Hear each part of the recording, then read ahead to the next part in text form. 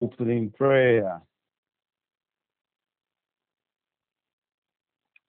In the name of the Father, and of the Son, and of the Holy Spirit. Amen. Father, we give you thanks and praise for all that has happened to us and with us throughout the course of this week, and for bringing us to the end of yet another week.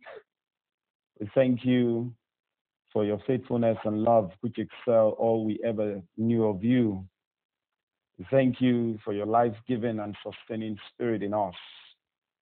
Thank you for our health and strength. Thank you for wisdom and the grace to function as you deem fit. Thank you for all the blessings of this day and all the favors we have received. Thank you for the victories we have you have given to us, especially from unforeseen incidences. We thank you for the challenges that we have been able to surmount. We thank you because you are God. As we gather this evening to learn more of you, especially in the area of gratitude and thanksgiving, we pray that you will accept our thanksgiving this day and fill us with your spirit, that at the end of the day, all glory will be yours, all adoration will be yours, all thanksgiving will be yours, and the blessings will be ours through Christ our Lord. Amen. Hail Mary, full of grace, the Lord is with you.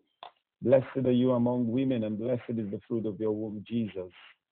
Holy Mary, Mother of God, pray for us sinners, now and at the hour of our death. Amen. Our Lady, seat of wisdom, pray for us. In the name of the Father, and of the Son, and of the Holy Spirit. Amen. Once again, good evening to everyone.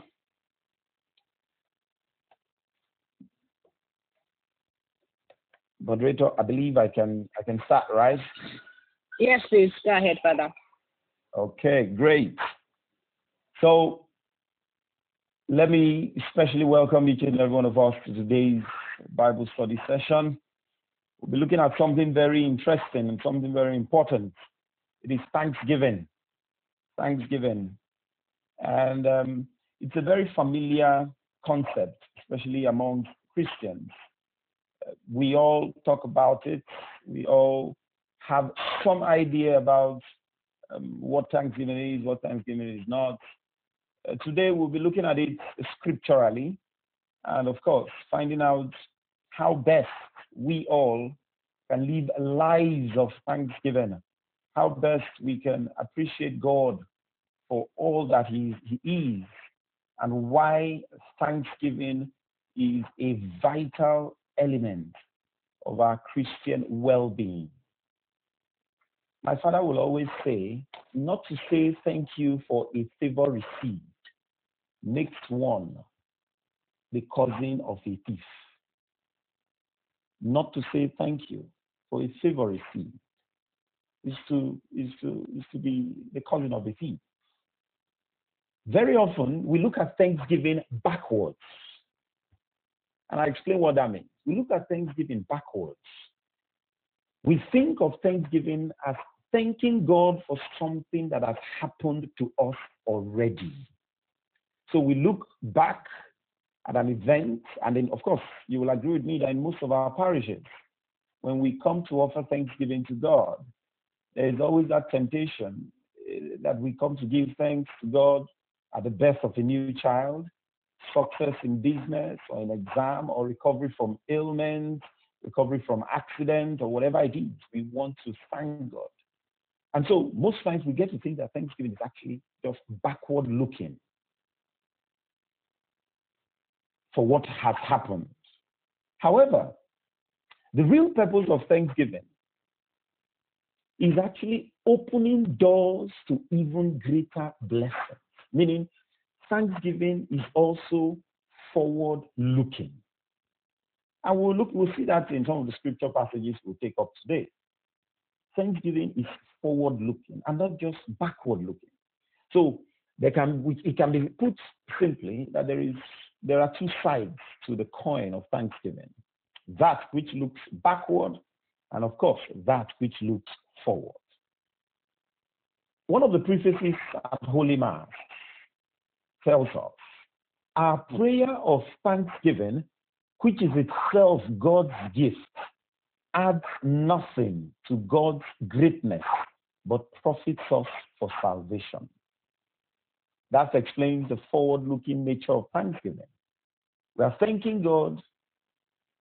It doesn't profit God anything. We thank God. It doesn't make God bigger. It doesn't make God more God, but it profits us for salvation. And then it is itself a gift from God. Our ability to thank God is God's gift to us. And I'll equally explain that. If God has not given us the gift to thank Him, then it becomes all too, in fact, almost impossible to even remember to thank Him. It becomes almost impossible to thank Him. And so it is God's gift, first of all, to know that our ability to thank Him is a gift that has been given to us by God. And it profits us for salvation. It doesn't add to God's greatness. Thanksgiving is something that we are called to do every day. A thankful heart, a grateful heart. It is something we are called to do every day. And it has to be intentional. We don't chance upon Thanksgiving. It has to be intentional. It is something that we are called to do every day, in good times and in bad times, ups and downs. Our natural response should be gratitude. And that is what we are taught. That is what the church teaches us. That is what scriptures teach us. I will enter his gates with thanksgiving in my heart. I will enter his courts with praise. I will say, This is the day that the Lord has made. I will rejoice, for he has made me glad. We have to come each day. Thanksgiving, thanksgiving, thanksgiving. We give thanks to God, firstly, knowing that he is the giver of all things. Thanksgiving stands on three on three legs. You want to call it a tripod. First, we give thanks to God knowing that God is the giver of all things, and with emphasis, all things. Whatever you can think of, God is the giver, and so we give thanks to Him. We give thanks to Him because of His own faithfulness. God is constant, He doesn't flicker. So we give thanks to Him for His faithfulness. And the third one, we give thanks to Him because of his promise to us. So when we look back, we see how much God has brought us, especially in this year, 2020. Many of us have said we are not going to add this year to our calendar. We won't count it because we didn't make use of it. Because we there's been so much that's taking place this year. Was you know, the, the, the COVID 19 is still very much around with us.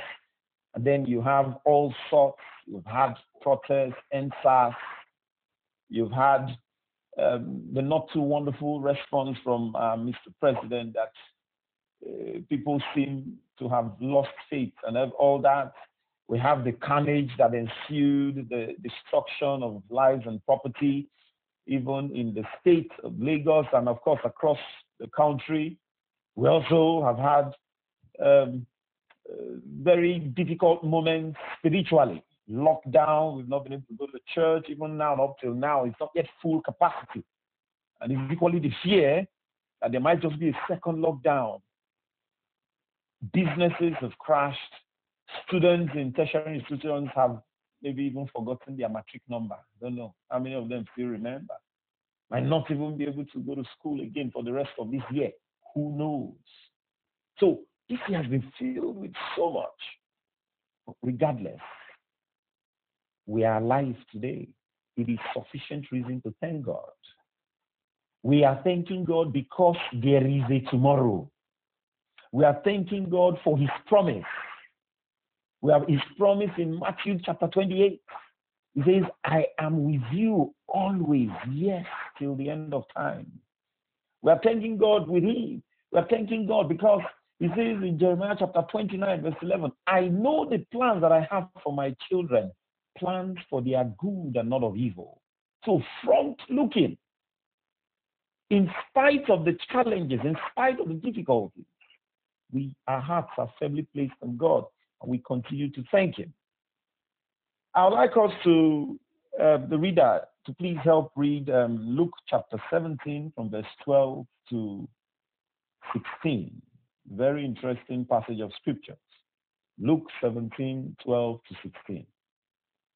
The please.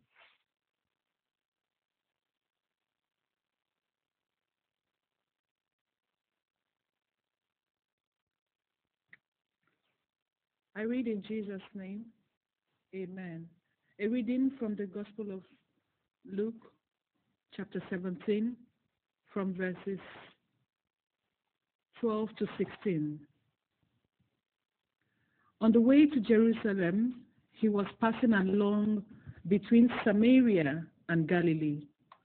And as he entered a village, he was met by ten lepers who stood at a distance and lifted up their voices and said, Jesus, Master, have mercy on us. When he saw them, he said to them, Go and show yourselves to the priests. And as they went, they were cleansed. Then one of them, when he saw that he was healed, turned back, praising God with a loud voice. And he fell on his feet, on his face at Jesus' feet, giving him thanks. Now he was a Samaritan, Samaritan. Then Jesus said, Were not ten cleansed? Where are the nine? Was no one found to return and give praise to God except for this foreigner? And he said to him, Rise and go your way. Your faith has made you well. The word of the Lord. Thanks be to God. Thank you very much. Thank you very much. Now we will delve into that scripture passage in a moment, but before before we we look at that uh, passage quite explicitly, I would want to read from my own place here. Uh, I refer you to I won't take I won't be reading everything, just pick snippets of it from the the book of First Samuel, First Samuel um, chapter one, First Samuel chapter one, the story of Hannah the story of Hannah is a very important one in understanding what Thanksgiving is. Now, Hannah had endured years. If you read chapter 1, chapter 2 of First Samuel, you will get all of these um, uh, details that I'm going to talk about here. Hannah had endured very, very years of harsh ridicule. Why? Hannah was barren. Remember from that passage of scripture that Hannah was the wife of Elkanah. But Elkanah had another wife, Penina. Penina. Now, Penina was blessed with children, and Hannah was barren. But every year, Elkanah and his entire family went to Shiloh to offer sacrifice of thanksgiving every year. They made it, they made it a habit of going there to offer thanks to God. Now, this is one of the areas in scriptures where I take solace in the fact that we do not necessarily need to wait for God to do something before we thank Him. Hannah was constantly going to Shiloh to offer thanks even when she had no child.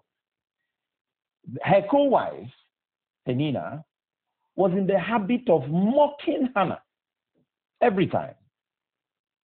For Penina, that joyous occasion where they go to offer thanksgiving, she used it to remind Hannah of her barrenness. And she was constantly mocking her for for for God knows for God knows why. Because she had no child. One year after Penina had um, driven Hannah to the point of desperation, she was embittered in soul, that Hannah, and she offered a prayer to God. If you go to First Samuel chapter 1 from verse 10, verses 10 and 11, you will see the prayer, the, the, the prayer that uh, Hannah says. In her soul, she prayed, and this is what she says O Lord of hosts, if you will indeed look on the affliction of your maidservant and remember me, and not forget, but you will give your maidservant a male child, then I will give him to the Lord all the days of his life, and no razor shall come upon his head. No razor shall come upon his head. Now, what do we notice here? That Anna went to make this bitter request from the pain of her heart because of the mockery of her co wife. But there was something in it. The motivation for the child was not for a selfish reason. She never said to God, Give me a child so that I can get back at my co wife. Give me a child so that my co wife can stop mocking me. This embarrassment is too much. This challenge is too much. This difficulty is too much. This mockery I can no longer take. No. Instead, she says and offers to God, Give me a child. I will offer this child back to you regardless of the fact that whether God was going to give her that child or not, Hannah continued going to Shiloh to offer that thanksgiving to God. Hannah's attitude of thanksgiving was not tarnished by her oppression. It wasn't tarnished by her oppression, as some of us might expect. expect. She was being oppressed, she was being taunted. Even when they were giving um, the sacrifice for their offering by Elkanah, because Penina had children, she got more and her children. But Hannah had no child. And so Hannah just received a little portion that was just for herself. And she was contented, but she faithfully was doing this. Dear friends, the truth is, thanksgiving must come from a place of poverty. Poverty in the sense in the Beatitude in Matthew chapter 5, Jesus says, Blessed are the poor in spirit, for theirs is the kingdom of heaven. Anna was poor in spirit. Anna was not ready, was not looking at coming to for a payback. Anna was not looking to gloat that yes, you see, God has done this for me. No. Anna was offering thanks to God in the hope that when God blesses her even with the fruit of the womb, she will offer even bigger thanks by offering that child to God. Which means even offering the child to God means you probably no longer have the child with her. And we know the end of that story. She was blessed with Samuel and she kept her vow. She kept her promise. She offered the thanksgiving back she offered that gift that was given to her back to God. Remember what I said that the, the, the three the three legs on which thanksgiving stands is that first that God is the giver of all things. God is the giver of all things. That we have to thank God. We know that it is God who has given us the grace to thank Him. If we are thanking God for fruit of the womb, it is God who has given us. If we are thanking God for promotion in our business, in our jobs, it is God who has given us. If we are thanking God in anticipation of something that will happen, it is God who has also given it to us. Um, sometimes when I listen to some Pentecostals pray, uh, they, they tend to end their prayer in such beautiful fashion where you hear things like, Thank you, God, for answered prayer. They've just finished the prayer, but they are thanking God for answered prayer, forward looking. It hasn't happened, but we say with humility, we believe that it will. And that's exactly what we find in Anna's attitude. And so, some of the lessons we can glean immediately from this is that God, as the giver of all things, that no matter how difficult this year has been with us and for us, we are called to live a life of thankfulness. No matter how difficult. No matter how difficult. It means it should come from a place of poverty, poor in spirit. It should come from a place of lowliness. It should come from a place of nothingness. If you go to Luke's Gospel, chapter 1, our Mother Mary depicts it clearly in her Magnificat, her song of thanksgiving. She had just received the promise from God, and she breaks forth into joyous thanks. She breaks forth into joyous thanks, and she gives us the Magnificat. He looks on his servant in her lowliness. Henceforth, all ages will call me blessed. From that place, that is where our thanksgiving should come. From our nothingness. Our Mother Mary teaches us that she, she was nothing. She knows she's nothing. Why would I? Why, why, why this sort of blessing coming to God, coming to, from God to me? Those are the things that will be filling the heart of our Mother Mary. Yet, she offers thanks. That should be the foundation. That should be the reason why we too must always give thanks to God. Another thing that we see from Hannah's story is that her thanksgiving was not occasional. Our thanksgiving must not be occasional. No. Our thanksgiving must not be occasional. I want you to think our thanksgiving should not correspond with only the good moments that happen to us. Instead, our thanksgiving must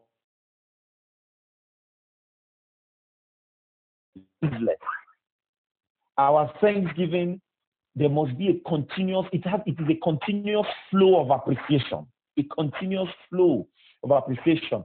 That we are alive, that we breathe is reason enough to thank God reason enough. Every breath shall thank the Lord, shall praise the Lord. Continuous. It shouldn't be stop start. When we realize that God is a gracious giver, we must know that that giver is worthy of all things. Ephesians chapter 5, verse 20 tells us, Give thanks always for everything to God the Father in the name of our Lord Jesus Christ. Give thanks always. And Paul doesn't tell us to give thanks once in a while. he doesn't tell us to give thanks on some days of the week. He says we should give thanks always. In Romans chapter 8, verse 32, Jesus says to us, uh, St. Paul says to us, For God did not spare his own son, but gave him up for us all. He did not spare his own son, but he gave him for us all. Give him up. That is a reason for us to consistently be thanking God. Continuously. In Ephesians chapter 1, verse 3, it says, God who has blessed us in Christ with every spiritual blessings from the heavenly place, he chose us in him before the foundation of the world that we should be holy and blameless before him. He predestined us for the adoption as sons through Jesus Christ according to the purpose of his will, to the praise of his glorious grace, which he freely lavished on us. These are motivations why our thanksgiving should be always, meaning for what God has done already, that paid the ultimate price for us. Tetelestai, it is finished. He has paid the price for us. Enough reason. He has won salvation for us. Enough reason for us to continue to thank God. And if you look at Psalm 23, the very popular psalm, the Lord is my shepherd. He says, David says to us there, My cup overflows. My cup overflows. And why is our cup overflowing? Because God is constant. God doesn't love us once in a while. God loves us always. And so that love of God, which is constant, that He loves us even while we were still sinners. He died for us should be a motivation for us to be thankful. To be thankful. And so our thanksgiving to God must be ceaseless, it must be continuous, it must be never ending. It has it is based on our on our on, on our understanding of God's faithfulness. If we know that God is faithful, if we know that what he says he will do, he will do. What God cannot do does not exist. If we know that of our God, then our thanksgiving must be constant, must be continuous. Must be continuous. And see, when we talk about Thanksgiving here, I'm not talking about maybe just trying to offer gifts or offer items, either monetary or material things uh, to God. No, no, no, no, no. No. A life of thanksgiving is a life that is dominated by gratitude, humility, and lack of complaint. A life of thanksgiving is a life that is dominated by gratitude to God for everything, good or bad. A life of thanksgiving is a life that is continuously humble, that recognizes that God is God. A life of thanksgiving is marked by a lack of complaint, that is contentment. And I'll touch on this last point a little more. Let's, if you go, let's go to scriptures and look at the book of Genesis. In the book of Genesis, when God created Adam and Eve and placed them in the garden, He gave them everything, every single thing, and gave them one command eat, drink, be merry, have a great time. But you see this tree in the middle of the garden, please do not touch. Do not eat, for the day you eat it, you will die. And the serpent came. At that point, there was harmony between God and man. There was harmony between God and there was harmony between man and God. There was harmony between man and man, and there was harmony between man and nature. These three levels of harmony. The harmony between man and God. God was coming to fellowship with them in the garden. The harmony between Adam and Eve. They were in love. When Adam saw Eve, Adam became a poet. This is bone of my bones and flesh of my flesh. And there was harmony between man and nature. The wild animals were not devouring anybody, was not destroying anybody, and there was there was harmony, a lot of harmony. But what happened when the when the serpent came? The serpent said to Eve, "Did God say to you that if you eat this of this tree, you will die?" He said, "Yeah, the day you eat it, you die." And the serpent said, "False, you will not die." Because God knows that when you eat it, your eyes will be open and you will be like God. Now, let's hold on there. Now, what did the serpent say to, to them? That when you eat of this tree, of this fruit, you will not die, but your eyes will be open and you will be like God. Lack of contentment was what pushed them to eating that fruit. Lack of contentment. They were no longer contented with being human beings. They were not contented with being creatures created in the image and likeness of God, they now desired to become creators. Lack of contentment. And what happened? Immediately, the fruit was pleasing to the eye. Those three things we must always be careful the pride, the lust of the eyes, the lust of the flesh, and the pride of life. And because of that, they ate. And they ate this fruit. And what happened? You will notice what happened. Instantly, complaints started. When God came and said, Adam, Adam, where are you? Immediately, Adam says, eh, I'm hiding. Where are you hiding? I'm naked. Who told you you were naked? Have you been eating of the tree that I forbade you? Complaint started. It was not me. It is the woman you gave to me. Before now, that same woman was bone of my bones and flesh of my flesh. But an ungrateful heart that was not contented wanted to become creator and no longer creature. And so disharmony entered instantly. It's the woman. And then God went to the woman. Woman, what is this you've done? Instantly, she also started complaining. It is not me. It is the serpent disharmony between man and nature took place. And why I say a, a, a grateful heart is a contented heart. A grateful heart will not begin to give God timeline. God, do this for me. God, do it this way. Some people come to God and tell God and do it as if it's a you are, you are entering, you are, want to do what is called, you want to play Baba Ijebu with God. God, do this and I will do this. Just like um, somebody who said to God, God, if I get well, I will build a grotto for the parish. And she was sick for several years. He says, You have the means of building the grotto, but I want to be well first. God, when I get well, I will build the grotto. And then she died, not building the grotto, obviously not get. She died from the ailment. We cannot come to God like that. We have to be contented. Full stomach, empty stomach. That's what our reading told us today. The reading of St. Paul to the Philippians. In lack, in plenty, and in want, we give thanks to God. Very, very vital. And so, dear friends, God's faithfulness is the motivation for us to be grateful to God.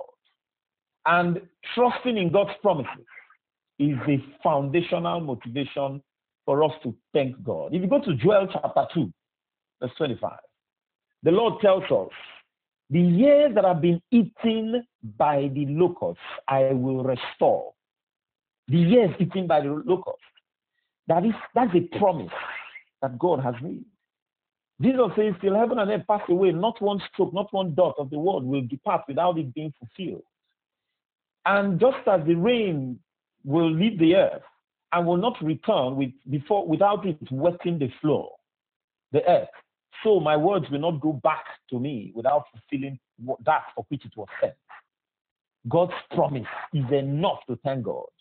Is enough to thank God for His promise. It, it hasn't come to pass, but it's enough to thank God. You should thank God for His promise. He has said, I will restore to you the years eaten by the locust. For many of us, 2020 is a year that has been so devoured by the locusts. Some have lost jobs, some have lost friends, some have lost their means of livelihood, some businesses have crashed so much. Some are scared. But God says, I will restore to you the years that have been eaten by the locusts. Do we believe it? If we believe it, we'll give thanks. If we believe in his promises, we will give thanks. But if we don't believe, you know, I, I get to say to people sometimes that when somebody just makes us an ordinary promise, uh, you, your son has just finished school, your daughter has just finished school, and a friend of yours who's a top manager in some company says, okay, I'm going to help your son secure a good job. Immediately you start thanking the person. Just tell him to send his CV to me and then I'll see what I can do. Thank you very much, sir. Thank you, man. God bless you, man. It, and then we are thanking the person profusely. The person has not helped us with the job yet. Promise. And we thank them. How about God, who is faithful, who is constant? Who is constant? Job chapter 2 tells us if we accept happiness from the Lord, must we not accept sorrows too? The Lord gives, the Lord takes. So our lives must be one of thanksgiving. No story in all the Gospels speak of man's ingratitude than the story that we read in Luke's Gospel, chapter 17, from verse 12 to 16. The story of the ten lepers. Jesus comes into this village, this certain this village, and is accosted by 10 lepers, 10 lepers who come to him and they did not ask to be healed. They say, they said to him, have mercy on me. They didn't say heal me. Because at the time, leprosy was synonymous with death. You are near death. It is it, it was heightened. The pain and the exclusion that came with leprosy was heightened by societal norms. You were not supposed to come around in the open. You were not supposed to mingle with people. You, you, you face the risk of being stoned if they see you in the public market because, and it was so infectious. And the way it takes them, piece by piece, one finger, a second finger, one limb, one leg, and before you know, the person is gone. There's really no treatment. So, and all through scriptures, it wasn't a, a, a disease that people, that everybody gets to heal. All through scriptures, just Elisha. And then Jesus, of course, were the only two persons in the entire scriptures that healed a leper. And so, leprosy was a very, very destructive or terrible ailment. And now these men come to Jesus, and Jesus said to them, Go and show yourself first to the priest. On their way, they found out that they were healed. And of the ten, only one came back. And scripture says he was a Samaritan, he was not a Jew.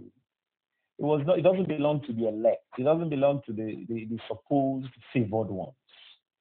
And for once, we see Jesus bringing to fore the, one of the greatest pains of the Christian life, ingratitude. Were not all ten made clean, the other nine, where are they? Were we not all alive from January 1 till now? How many of us have given thanks? Jesus might just be asking the same thing. Those who have given thanks to God, are they in a better position than ourselves? Those who are still thanking God, have they, have they been more blessed than us? And Jesus was worried at man's ingratitude. He says, The other 10, the other nine, where are they? Only this Samaritan came back to give thanks. And it is instructive, dear friends, that he came back to give thanks. Now, all 10 were healed, but only one was saved. All 10 were healed, but only one was saved. Only one of them was saved. The one that was saved was the one that came to give thanks. Gratitude saves us. Gratitude saves us. Jesus didn't just end it there. When he came to thank God, Jesus sent them to go and meet the priest. And in obedience, they were going, and he discovered that something had just happened. He probably knew it was not the priest who did it. It was not the priest who did it. So I can always go back again to see the priest. But for now, let me go to the one who has done it. He recognizes instantly. Jesus did not wave the magic wand on their body. So it is also likely that the other nine took it for granted. Wow, we are well. How did it happen? And probably were not able to put a connection to Jesus. Or they probably took it for granted. Well, they said, let us go and see the priest. Let's go and see the priest and show him that we are well so that we can continue our life. Is one of those things that have happened. Gratitude is important. Ingratitude is a hopeless disease. Ingratitude is a hopeless disease. Whenever we are ungrateful, whenever we're ungrateful, we see ourselves in that space, that conundrum. And that's why I talked about complain. When we are ungrateful, we complain almost about everything. Ingratitude opens our eyes to the things that we lack and not to the things that God does for us. Now, if you look at these 10 lepers very quickly as I try to round up here now, you will see some similarities. So many things that happened to the 10 lepers, the similarities.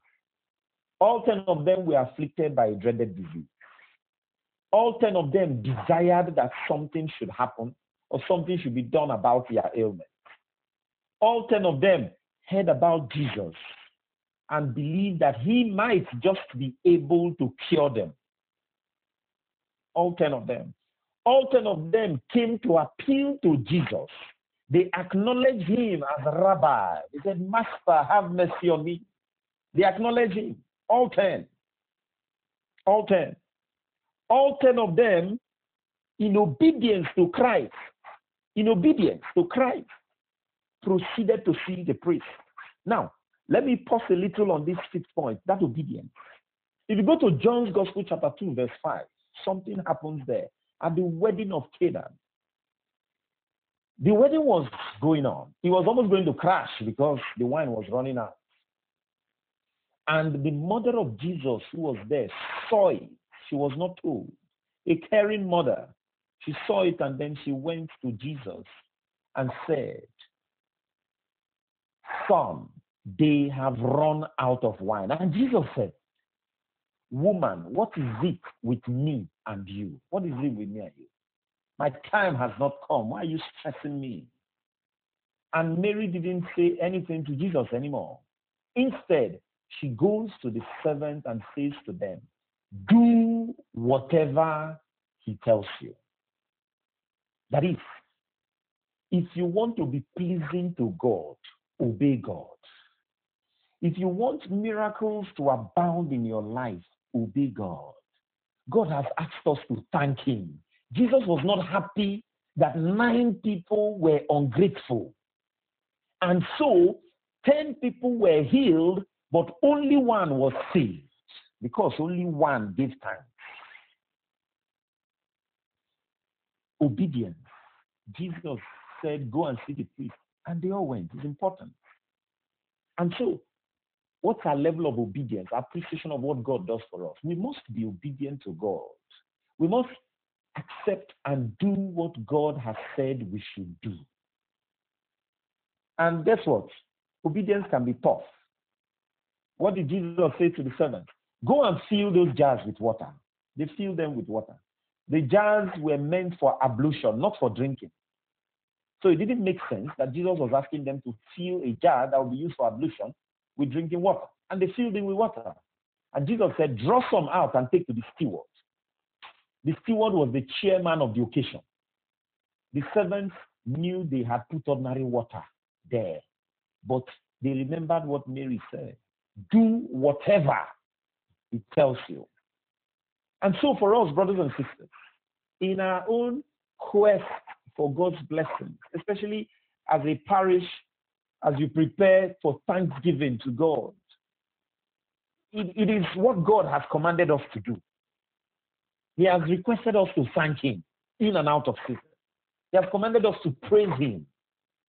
When we before we began, the song at the background, He has done so much for me, I cannot tell it all. If I have 10,000 tongues, it still won't be enough.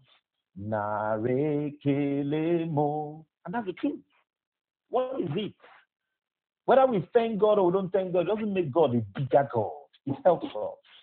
And that's why we have to, we have to continue to thank God. We have to continue to live lives of thanksgiving.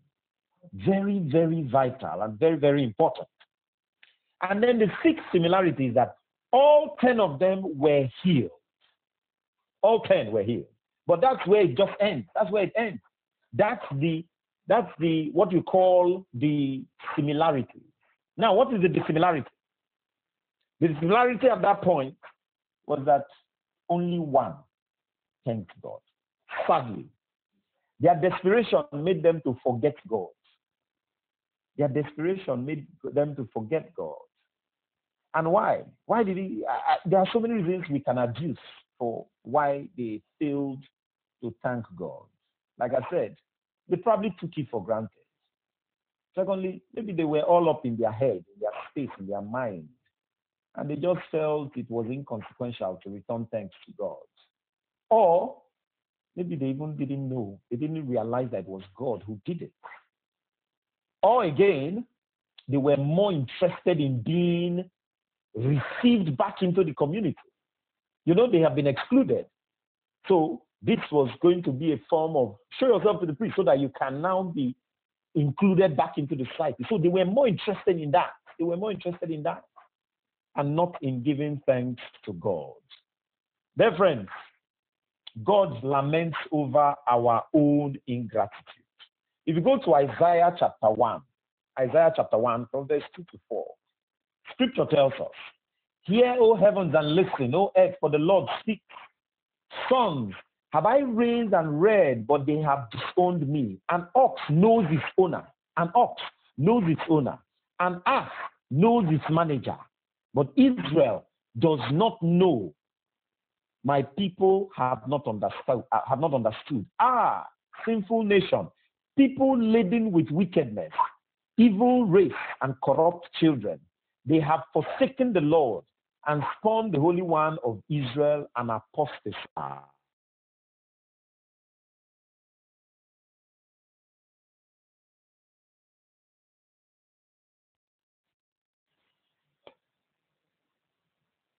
Can you hear me? I think I went off briefly. Yes, we can hear you, Father. Okay, great. And so man laments, at, uh, God laments over man's ingratitude. You find that in, of course, in Isaiah chapter 1, from verse 2 to 4. In John's Gospel, chapter 1, verse 11, he says, I came to my own. the Son of Man came to his own, and his own did not accept him. They did not accept him. John chapter 1, verse 11. They did not accept him. His ingratitude. They were not grateful for the gift of the Son of God into the world. Light entered the world, and we preferred darkness instead of light.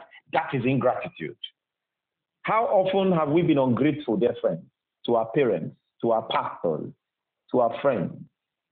Remember, I said to you, not to say thank you for a favor received makes you a mere relation of a thief. You might not be the thief, but you, you are a cousin, you are a relative, you are a nephew, a niece, or very close ties. It's just very little thing. You now become the, the, the thief. When was the last time you said thank you even to God? How do you express your thanksgiving to God? How do you express it to God? In humility, in love. One of the ways you can express your thanksgiving, apart from just giving material gifts, is by living a life of holiness, is by encouraging others to love God, is by loving what God loves and hating what God hates. If you love God, he says, you will keep my commandments. Is by living, by, by living a holy life. Very important. Very important. Do you express your gratitude to God by helping others? You express your gratitude to God by being merciful and kind to your neighbor? Do you express your gratitude to God by forgiving others? Gratitude is the homage of the heart, is a homage to the heart, which responds with graciousness in expressing an act of thanksgiving. In John's Gospel, chapter 11, verse 41, before the miracle of raising of Lazarus to life, something happened. Jesus said, Father, I thank you for hearing me. John chapter 11, verse 41. Father, I thank you for hearing me. In Ephesians chapter 5, verse 20, St. Paul gives us this advice. He says, Give thanks to God always for everything in the name of our Lord Jesus Christ, to God the Father. Give thanks to God always. In Colossians chapter 3, verse 17, scripture tells us, and whatever you do in word and in deed, do everything in the name of the Lord Jesus, giving thanks to God the Father through him. And in Psalm 107, verse 1, scripture advises us give thanks to the Lord, for he is good, for his love endures forever. The medieval Christian mystic called Meister Eckhart Meister Eckhart says, if the only prayer we ever say in our lifetime is thank you, God, that would survive. That would suffice. If that's the only prayer we'll ever say to God, thank you, God, that would suffice. And to conclude, dear friends, our supreme act of thanksgiving, I'm sure we all know that, the Holy Eucharist, the Mass. And in the Mass, Jesus is the priest, Jesus is the sacrifice, and Jesus is the altar of sacrifice. And of course, Eucharist means Eucharistein, it's thanksgiving. So that's the supreme act of thanksgiving that we can offer to God. So how do you celebrate? How do you come to Mass? How do you approach the Holy Eucharist? Do you approach it with a grateful heart? Or do you stumble on it? Do you take it for granted? Do you know at every Mass, that is the highest thanksgiving we can give to God? Thanksgiving is an attitude, is the attitude we should adopt when we worship God. Thanksgiving. And let me just put this here before I forget. When you say your prayers, when you say your prayers, do well to add songs of thanksgiving and praise. Don't pray just the verbal prayers and leave it at that. Add songs of thanksgiving and praise. It does something different. It does something different. It, it's, it's like, you know, I don't know how best to describe it, but what comes there is enormous. So do well to add songs of thanksgiving and praise when you, when you say your prayers. If that's the only thing you do, just sing songs of praise. The windows of heaven will be opened and abundance of blessings will come down upon you. Miracles happen when we praise God, when we thank Him, when we thank Him for everything. Thankfulness should be in the Christian heart. What do you go to church to do on Sunday? What are you going to be doing in church tomorrow? Please, I invite you to go to church and thank God. Thank God for the opportunity He has given to you to see this day. Thank God for the life He has given to you. Thank God for your priest. Thank God for your friends. Thank God for your fellow parishioners. Thank God for your family. Thank God for the air that you breathe. You know, if you know how much it costs to get oxygen in Lutz, you will know that there's no way you should take it for granted that you are breathing. If you know how much it costs and what it takes to be on life support, just to be alive and be breathing, you will not take living for granted. It should be a continuous outpouring and overflowing of, of love. But then I must add that gratitude is not earned so cheaply. Gratitude is hard. Sometimes I have a I have a feeling that we are not wired to be grateful to God. We are not wired that way. So sometimes we get to forget. We are not wired. I think it's our, our sins that make it that way. That we, we need to be reminded. Otherwise, we shouldn't be reminded. But then it's good that we get reminded of this noble task of thanking God. With this, I've come to the end of my very brief reflection. We pray and thank, and we pray to God that uh, our, our thanksgiving should not be just a feeling, but we should always act on it. Life of thanksgiving is a noble and the right thing to do, and it's pleasing to God. Thank you very much, and God bless you all.